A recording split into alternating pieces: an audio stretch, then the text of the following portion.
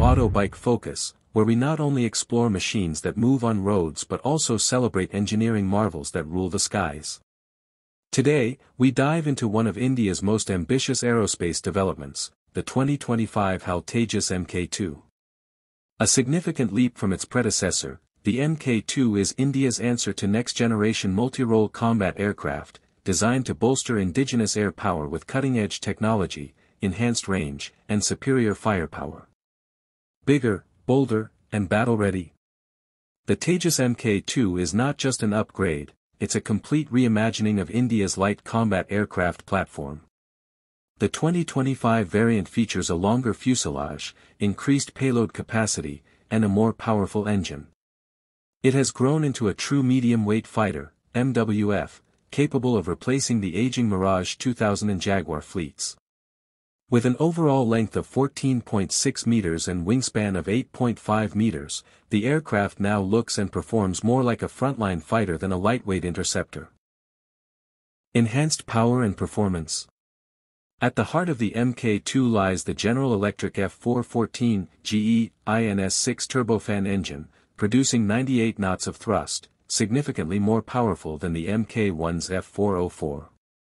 This allows the aircraft to achieve speeds over Mach 1.8 and a service ceiling exceeding 50,000 feet. The upgraded airframe incorporates improved aerodynamics, canards for better control at high angles of attack, and increased internal fuel capacity for longer range, over 1,500 kilometers without refueling. The Mk2 is now a genuine long-range, multi-role combat aircraft.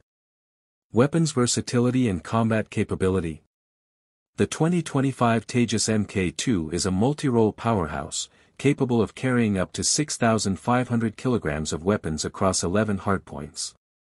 It supports beyond visual range, BVR, missiles, precision-guided bombs, anti-ship missiles, and electronic warfare pods. Integration of India's Astra missile, Scalp, and potential compatibility with Meteor and Hammer missiles makes it a versatile platform across air superiority, ground attack, and maritime roles. Its open architecture allows future upgrades, making it future-proof for evolving threats. Advanced avionics and cockpit systems. The cockpit of the Tejas Mk2 is designed for modern air warfare. A panoramic touchscreen display, digital fly-by-wire system, and helmet-mounted display ensure enhanced pilot situational awareness.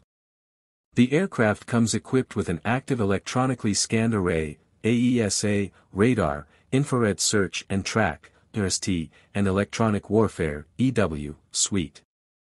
With AI-assisted diagnostics and mission planning support, the Mk2 pushes HAL's technology envelope into global fifth-generation standards. Make in India, fly with pride. The Tejas Mk2 is a symbol of Atmanirbhar Bharat, with over 70% indigenous components. HAL has collaborated with DRDO and private defense firms to deliver a fighter built for Indian needs, terrain, and tactics. The production model is expected to roll out by the end of 2025, with full operational clearance by 2026. This not on.